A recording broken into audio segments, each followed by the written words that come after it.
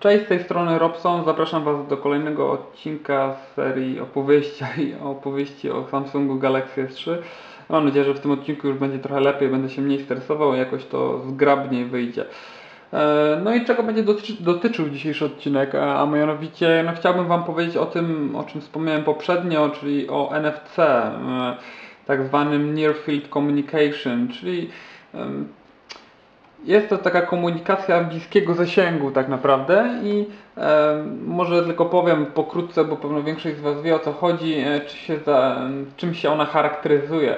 E, więc generalnie niski, mały zasięg, e, mała przepustowość, e, wolna transmisja danych. I, I do czego on służy? No głównie do płatności, tak? E, Co jest bardzo reklamowane na przykład w Stanach Zjednoczonych. No i tam mają ten Google Wallet, e, właśnie ten produkt Google, e, dzięki któremu e, każdy może założyć sobie kartę prepaid i dostaje darmowe 10 dolców na wykorzystanie w jakikolwiek sposób chce. No, widzieliśmy, są też filmiki, może Wam tutaj gdzieś adnotację podrzucę, gdzie taka sympatyczna dziewczyna mm, tankuje sobie za 10 dolców na stacji benzynowej właśnie z tej karty prepaid. No ale mm, do piątku, mam nadzieję, że w piątek coś się pojawi, chociaż to nie jest pewne, gdyż tak jak wspominałem, w piątek ma się pojawić specjalna wersja Ga- Samsunga Galaxy S3 na Olimpiadę.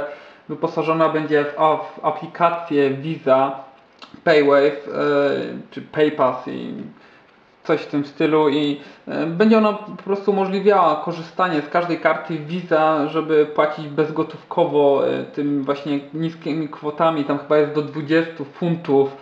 Nie wiem jak to będzie u nas w Polsce przeliczane.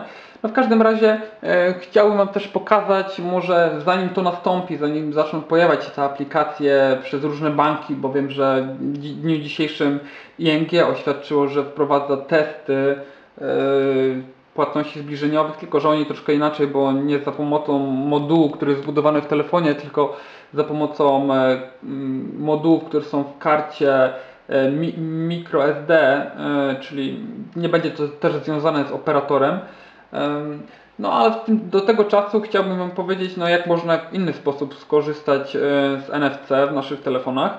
E, No i pomijając już funkcje S-Beam e, i te wszystkie inne związane z Galaxy S3, z dwoma Galaxy S3, które mogą się wymieniać danymi, co oczywiście Wam też później pokażę mm, w którymś z odcinków, no to mamy coś takiego jak tagi.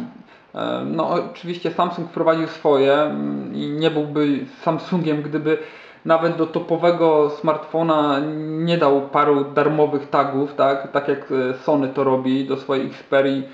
E, Dodają dodatkowe tagi, dzięki temu możemy od razu sobie z nich korzystać. No i o co chodzi? No tagi to są takie te mikrochipy, które można programować i różne funkcje one wykonują w momencie później dotknięcia ich.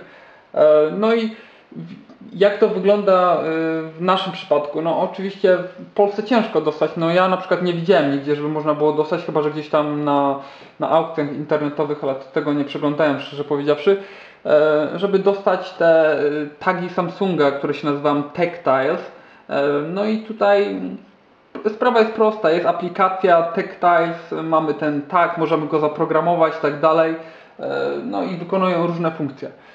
Co w momencie, kiedy mm, no, nie posiadamy e, takiego tagu, który możemy programować, em, tagu, który, który jakby jest mm, przystosowany do tego, żeby go albo raz zapisać, bo oczywiście jest ta możliwość taka, żeby raz zapisać tag i zostawić go i on już będzie dożywotnio tak zapisany, e, albo można zaznaczyć opcję tak, no jak mamy w płytach, że są płyty e, RK albo RW i tam też mamy taką możliwość, żeby zrobić rewrite, czyli po prostu kolejne zapisy można wielokrotnie zapisywać e, ten, e, ten tag.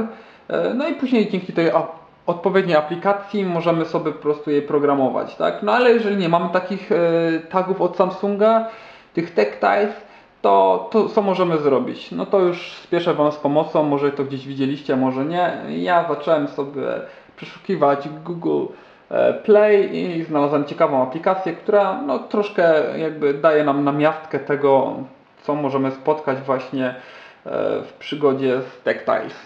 W takim razie zapraszam.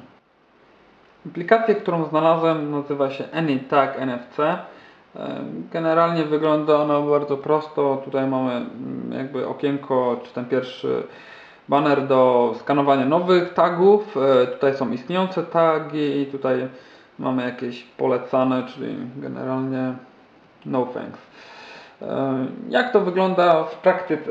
Tak, E, powiedzmy, że przychodzimy do domu i, kładziemy się już powoli do łóżka, bo jesteśmy zmęczeni po pracy, nie chce nam się grzebać w tych opcjach, że e, chcemy ściszyć telefon, żeby nas nic nie budziło w nocy. I wtedy z, pomocą spieszy nam na przykład zwykła karta bankomatowa, tak? Ona też posiada moduł NFC, jest wbudowany, oczywiście jego nie możemy zmienić, więc musimy jakby polegać na tym kodzie, który jest jakby zapisany w momencie sczytywania. No i tutaj właśnie wykorzystujemy tą oto aplikację. Ja już sobie wcześniej zdefiniowałem e, tutaj te niektóre e, opcje i możliwości. E, No i w tym momencie na przykład mamy przy łóżku leżącą taką kartę, może oczywiście ona być jakoś ładnie owinięta, nie wiem, możliwe, że da się wyjąć jakoś sam moduł NFC z tej karty, nie przeglądałem się tego szczerze powiedziawszy, może właśnie na YouTubie gdzieś jest, albo są jakieś zdjęcia w rentgenie, w którym miejscu występuje sam ten moduł, żeby, żeby go po prostu wyciąć i zmniejszyć jakby gabaryt tej karty, no ale kładziemy sobie taką kartę, jakąś ładniej owiniętą oczywiście niż moja, E, No i po prostu telefon, pamiętajcie, telefon musi być i, i musi mieć podświetlony ekran i odblokowany. Tak, tak, wiem, oczywiście, niektórzy powiedzą, że na XDA Developers są już jakieś e, aplikacje do zrutowanych oczywiście telefonów, e, żeby pominąć to i można używać NFC e, przy wyłączonym ekranie. Ale w naszym przypadku, jak tak jak wcześniej mówiłem, telefon ma być taki czysty jak z pudełka i w takim wypadku, no pokażę Wam. Telefon jest zgaszony, tak? Kładziemy kartę, nic się nie dzieje, telefon nic się nie dzieje, tak? Możemy tutaj jeździć, nic się nie będzie działo. Nawet jeżeli będzie odblokowany, nic się nie będzie działo. A po, dlaczego w ten sposób to działa? A, a to bardzo prosty. No bardzo dużo osób mówiło o tym, że E, Karty właśnie zbli- zbliżeniową płatnością są bardzo niebezpieczne, no bo ludzie przejdą, są jakieś czytniki sczytywania tych e, kodów, tak dalej. Możemy te, te płatności do 50 zł są właściwie bez żadnego pinu, tak dalej, no to można by było trochę stracić tych pieniędzy. E, No i rzeczywiście przy takich zwykłych kartach jest to o tyle niebezpieczne, że tutaj no, nie potrzeba jakby żadnego jakby żadnej naszej ingerencji w to. E, Owszem, pojawiają się jakieś takie karty, widziałem, e, z guzikiem do przyciśnięcia, żeby było możliwość po prostu jakby aktywacji tej karty, czy też są też ze specjalnym wyświetlaczem, który pokazuje kiedy, kiedy możesz, a kiedy nie, musisz tam jakoś go przytrzy- przytrzymać czy coś. No, jest to jakieś rozwiązanie, tak? A w telefonie bardzo prosto, dopóki nie mamy odblokowanego telefonu, nawet jeżeli jest ekran tylko podświetlony, no nic nie zrobimy. W momencie, kiedy mamy telefon odblokowany e, w, ten oto sposób, oczywiście sposób blokady to już Wasza sprawa, przykładamy sobie telefon. Właśnie to jest ta sytuacja, no chyba to jest sytuacja, kiedy jesteśmy zmęczeni po pracy i już idziemy spać i nie chcemy, żeby nam ktokolwiek przeszkadzał. Patrzcie tą kolejną przerwę, ale tym razem bateria mi padła w aparacie. No dobra, wracając do sedna sprawy. E, W takim razie bierzemy telefon odblokowany, kładziemy go na zapisanym wcześniej tagu i tak jak mówiłem wcześniej, chcemy, żeby telefon się wyciszył. AnyTag Lanchet Silent Mode Vibrant. No i mamy wyciszony telefon, oczywiście jakaś krótka notyfikacja, ona możliwe, że znika jak będziemy mieli wersję Pro czy nie. Bo tam w opcjach, w opcjach nic nie widziałem, no a w każdym razie nasz zamierzony cel został osiągnięty, mamy tylko wibracje oczywiście, E, no i akurat to nie jest nam to jakoś to potrzebne do szczęścia wielce i no czyli jak widzimy zwykła karta taka bankomatowa e, również działa, tak? Możemy po prostu sobie w programie ją, jej kod jakby przypisać do, dan, do danej akcji i mamy i nasz efekt, który oczekiwaliśmy został z- zamierzony. Dobra, druga sprawa.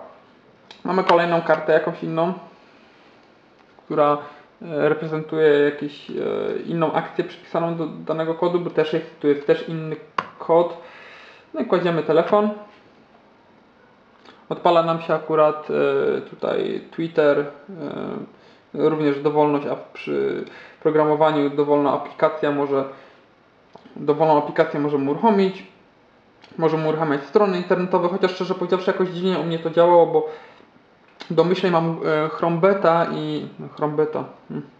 Nazywa się jeszcze Chrome Beta, nie wiem dlaczego tu jest Chrome Beta, skoro ona już jest wersją stabilną. W każdym razie e, w Chromie po prostu odpalały się te strony, po kolei się dziwiłem dlaczego przeglądarka się nie, nie, nie wyrzuca jakby na home screen, a okazało się, że te wszystkie strony, bo tam jakieś tam kilka miałem zaprogramowanych, one się odpalały w tle i w końcu tam chyba było 8 ka- e, zakładek. Nie wiem, może kogoś innego będzie to działało lepiej, bo wiadomo, że to różnie na każdym telefonie. W każdym razie e, no, działa to, no, może nie tak jak powinno super, ale też działa. I ostatnio mamy tutaj tą właśnie kartę e, aglomeracyjną naszą z Poznania i ją też zaprogramowałem. Czekajcie, włączę dźwięk, bo wtedy słychać e, ten taki klik od NFC. Kładziemy jest, że włączony Bluetooth. Akurat to jest przydatna funkcja w moim przypadku o tyle, że w samochodzie od razu włącza mi się Bluetooth, łączy mi się z e, zestawem głośno mówiącym, który mam wbudowany w samochodzie i e, no nie muszę też klikać i tak dalej. E, Dlaczego chciałbym teraz Wam powiedzieć o tym, że ta opcja przy zgaszonym ekranie ma swoje plusy, tak? Bo ja na przykład, jak widzicie, noszę telefon w takim e, tutaj flipcase'ie, znaczy nie, to nie jest flipcase, to jest zwykła taka wsuwa, nie?